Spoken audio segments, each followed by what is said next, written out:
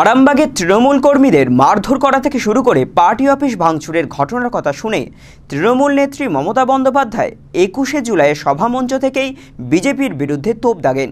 তিনি বিজেপিকে সায়স্তা করতে পাল্টা মিটিং মিছিলের দাওয়াই দেন তৃণমূল কর্মীদের। নবরূপে light house Arambagh hotel and resort private limited. আপনাদের সেবায় নিয়োজিত। কিছু কুচো চিংড়ি আর ল্যাটা মাছ কয়েকটা আসন পেয়ে বড্ড বেশি লাফালাফি করছে। আরামবাগে আমাদের কর্মীদের মারধর করা হয়েছে। পার্টি অফিস ভাঙা হয়েছে। অনেক হয়েছে। আর এসব বরদাস্ত নয়। যেখানে যেখানে বিজেপি এরকম ঘটনা ঘটিয়েছে, আগামীকাল সেখানে তৃণমূলের নেতা কর্মীরা গিয়ে পাল্টা মিছিল করবে। একুশে জুলাইয়ের মঞ্চ থেকে আরামবাগ শহরে যে সমস্ত জায়গায় তৃণমূল কর্মীরা আক্রান্ত হয়েছে, সেই এলাকার নেতাদের এমনই নির্দেশ দিলেন তৃণমূল সুপ্রিমো। উল্লেখ্য, শনিবার রাত্রিবেলায় তৃণমূল তৃণমূল বিজেপি সংঘর্ষে উত্তপ্ত হয়ে ওঠে আরামবাগ পৌরসভার এগারো নম্বর ওয়ার্ডের বসন্তপুর এলাকা। তৃণমূলের অভিযোগ, একুশে জুলাইয়ের জন্য তারা বাজার দোকান করে তার দলীয় কার্যালয়ে রেখে বাড়ি ফিরছিলেন। সেই সময় স্থানীয় একটি ক্লাবের পাশ থেকে বিজেপি কর্মীরা তাদের অকথ্য ভাষায় গালিগালাজ করতে শুরু করেন। প্রতিবাদ করতে গেলে তিনজন তৃণমূল কর্মীকে বেধড়ক মারধর করা হয়। তাদের মধ্যে একজনকে আহত অবস্থায় আরামবাগ মহকুমা হাসপাতালে ভর্তি করা হয়। দুই বিজেপি সমর্থককে আটক করে আরামবাগ থানার পুলিশ।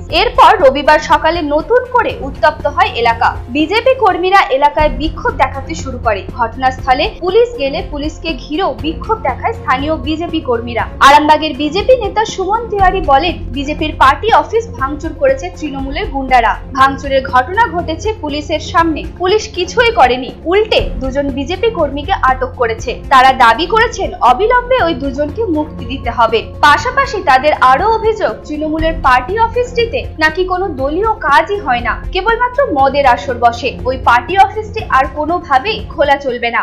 দেখুন, কালকে রাত্রেবেলা আমাদের বিজেপির কার্যালয়তে তৃণমূলের ছেলেরা অ্যাটাক করে। সেক্ষেত্রে পুলিশ আসার পরেও খবর পাই যে পুলিশের সামনে দাঁড়িয়ে আমাদের বিজেপি কার্যালয়ে ভাঙা হয়েছে। আমাদের বিজেপি কার্যালয়ের ওপর অ্যাটাক করার ওদের একটাই কারণ হচ্ছে যে ওদের পেছনে কোনো লোক নেই। এখান থেকে কেউ লোক ওদের সঙ্গে যাচ্ছে না আজকের প্রোগ্রামে। সেই জন্য ওরা এই ঝামেলাটা করে বিজেপির ঘাড়ে দোস্তাবাজে চাইছে। এর সঙ্গে পুলিশ প্রশাসন সম্পূর্ণ ওর মদত করেছে।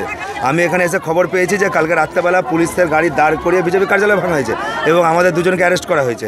আমি দাবি করেছি আইসি সাহেবের কাছে যে ওই দুজনকে ছাড়তে হবে এবং এখানে যে টিএমসি পার্টি অফিস আছে, এটা খুলতে দেওয়া যাবে না। এটা অ্যাকচুয়ালি পার্টির কার্যালয় না, এটা মদের আড্ডা হয়ে গেছে। এখানে সবাই যারা গ্রামবাসী আছে, সবাই বলেছেন।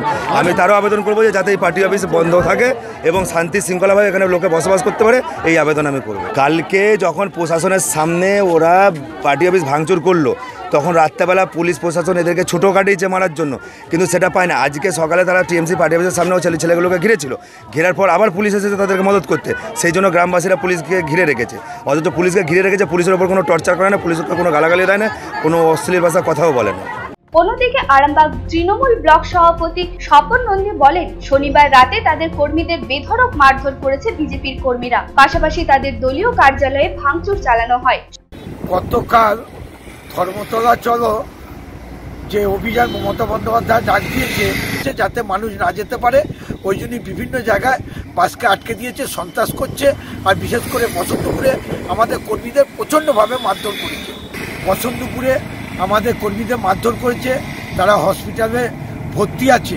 শেষ খবর পাওয়া পর্যন্ত পুলিশ বিজেপি কর্মীদের মুক্তি দিয়েছে বলে জানা গেছে। এই খবর তৃণমূল নেত্রীর কানে গিয়ে পৌঁছেছে। তিনি একুশে জুলাইয়ের মঞ্চ থেকে আরামবাগের নেতাদের সোমবার আরামবাগে পাল্টা মিছিল করার নির্দেশ দেন। অন্যদিকে অন্যান্য বছরের মতো এবছর অবশ্য একুশে জুলাইয়ের দিন জনজীবন বিপর্যস্ত হতে দেখা যায়নি। প্রতি বছরই একুশে জুলাইয়ের অন্তত চার দিন আগে থেকে রাস্তাঘাট ফাঁকা হয়ে যায়। নিত্য যাত্রীদের চরম দুর্ভোগে পড়তে হয়। যাত্রীদের নামিয়ে দিয়ে বাস হাইজ্যাকের ঘটনা ঘটনা প্রতি বছরই একাধিক জায়গায় ঘটে। এবছর অবশ্য শনিবার পর্যন্ত বাস চলাচল স্বাভাবিকই ছিল। রবিবার রাস্তায় তুলনামূলকভাবে বাস কমে যায়। সাধারণ মানুষ বলছেন, একদিনের ভোগান্তি তবু মেনে নেওয়া যায়। কিন্তু একুশে জুলাইয়ের নাম করে এতদিন আগে থেকে মানুষকে নাজেহাল করার কোনো মানেই হয় না।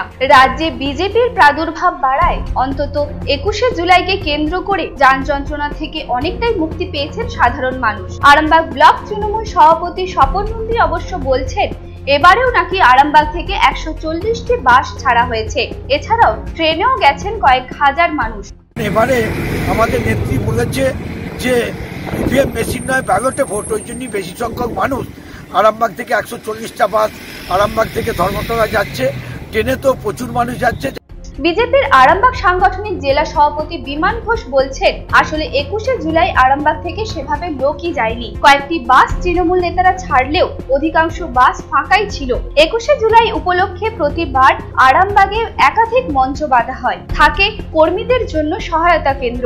সেখানে তৃণমূল নেতাদের পাশাপাশি আরামবাগের বিশিষ্ট চিকিৎসকরাও ধর্মতলা ফেরত তৃণমূল কর্মীদের চিকিৎসার জন্য উপস্থিত থাকেন। এবার অবশ্য মোড়ে মোড়ে মঞ্চ দেখা যায়নি। সকাল থেকে মাইকে গান বাজেনি। একুশে জুলাইয়ের হই হই ব্যাপার এবার আরামবাগ থেকে অনেকটাই উধাও, যেন অনেকটা চুপি সারে শেষ হয়ে গেল দু হাজার উনিশের একুশে জুলাই।